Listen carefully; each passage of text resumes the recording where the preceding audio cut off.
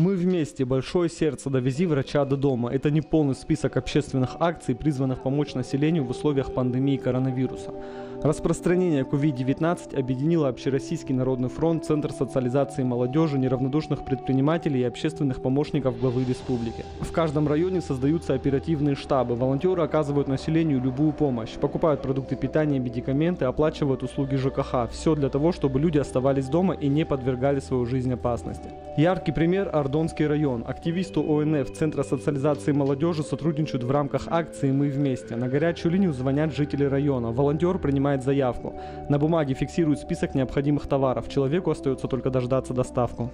У нас уже было отработано э, 19 заявок. И, ну, сегодня будет еще 5 заявок уже отработано с тех, которые к нам поступили. Мы выезжаем и в далекие села, и Нижний Феогдон, и в Нарт, и в Красногор, и по Ордону. То есть весь Ордонский район э, охвачен. К акции присоединились и предприниматели района. Теперь волонтеры безвозмездно помогают маломобильным и нуждающимся гражданам.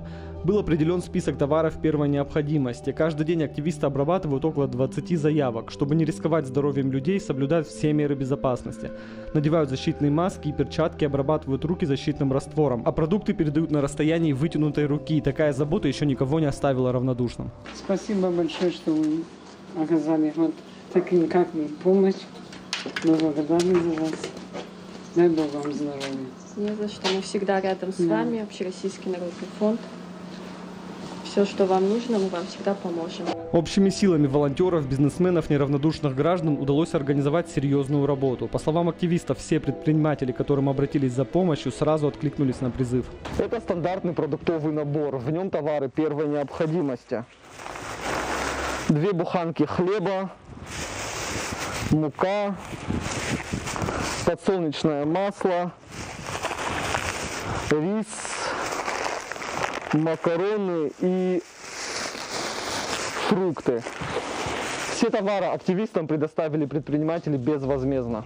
Подобная работа ведется и во Владикавказе. Общероссийский народный фронт, Всероссийское общественное движение «Волонтеры-медики» и Ассоциация волонтерских центров открыли штаб в Северо-Осетинской медакадемии. Оказывают помощь маломобильным и пожилым людям старше 60 лет. В штабе 120 человек. Также работает горячая линия. Каждый пожилой человек может позвонить на горячую линию, рассказать о проблеме и попросить помощи. Как и в Ордоне, волонтеры покупают продукты и лекарства, проводят профилактические беседы.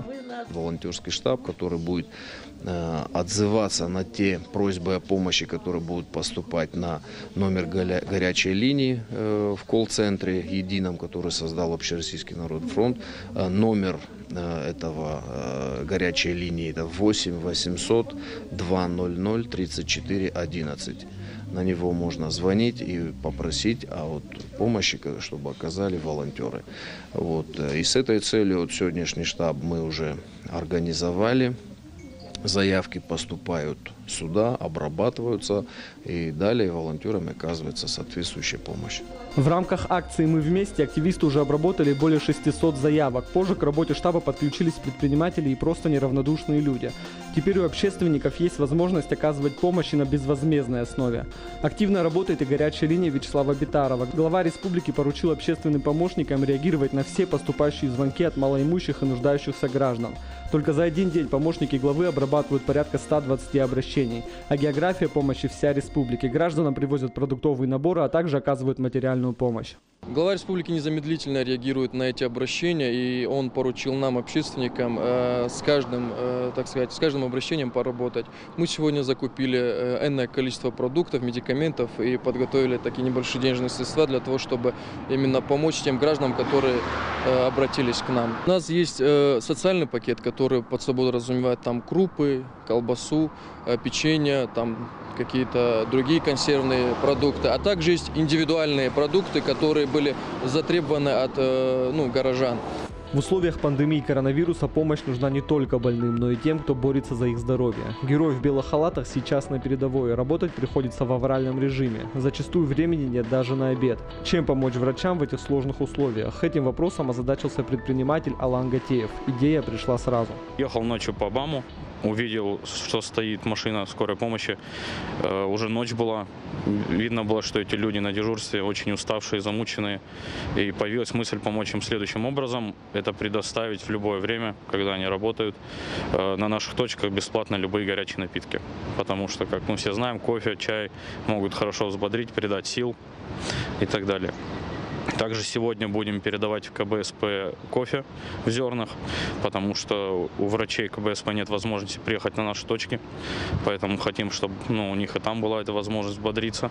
А вот компания «Премьер Крю» пошла дальше и решила организовать для медиков обеды. Теперь, когда у бригады скорой помощи есть свободная минутка, они могут перекусить сэндвичами и блинами от поваров заведения. По словам коммерческого директора компании Ольги Мищенко, в сложившейся ситуации коллектив не мог остаться в стороне. В день мы э, отпускаем обедов э, количественно, это где-то 25-40 бригад мы обслуживаем, то есть вот такой разброс, в каждом бывает по три заказа в среднем. А, Откликнулись они быстро, потому что мы а, связались с оперативным штабом.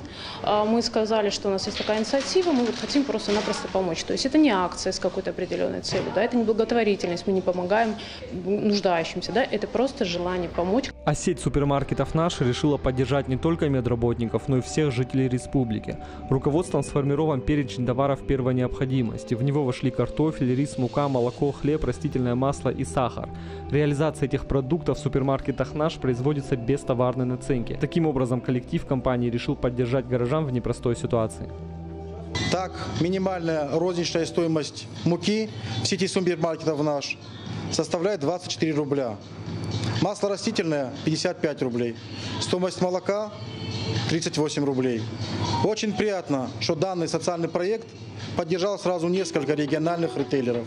Угроза распространения вируса показала, насколько важна отзывчивость и взаимовыручка. Власти, бизнес, активисты и общественники, медработники и СМИ объединились общей идеей, потому что только вместе, соблюдая все меры предосторожности, можно справиться со сложной ситуацией, в которой оказался весь мир. Георгий Запаров, Игорь Войцеховский, Хета Гапоев специально для программы «В итоге».